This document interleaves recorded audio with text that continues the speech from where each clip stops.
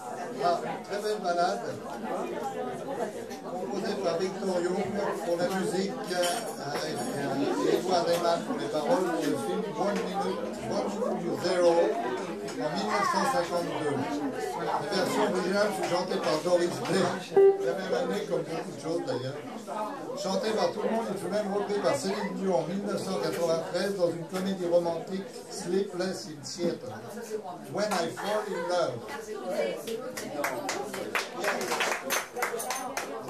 Love.